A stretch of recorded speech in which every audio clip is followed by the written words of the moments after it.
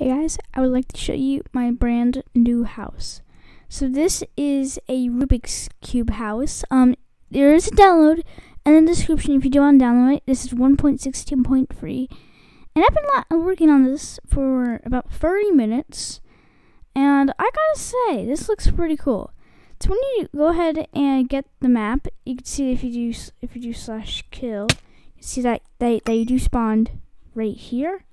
So when, when you spawn in, you just go ahead and walk forward, and you'll be welcome inside. So on your right, there's a staircase. You can go ahead and go up, and there's some little beds, and then a roblox, a, a, a Rubik's cube. If you want a tutorial of how to get those custom heads, I'll um go ahead and just comment or like just maybe I don't know two likes maybe. And then if, and then you go, and if you go to your left, you got chest and um, a armor stand with some good armor, the high quality armor. And then you also got a um, hot tub. So you can see just like, you know, chillax and all that stuff. Like, you know, have fun. And if you go over here, at nighttime we all just go right here. So if we do slash um, set, uh, wait.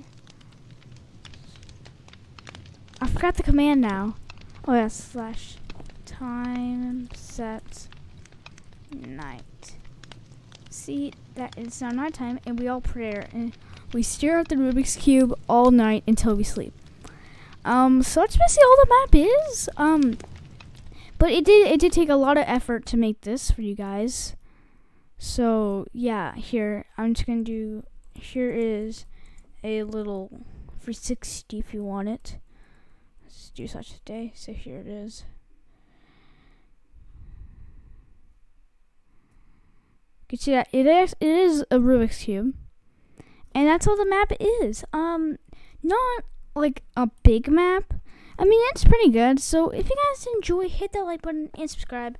And I will see you guys all next time. Bye.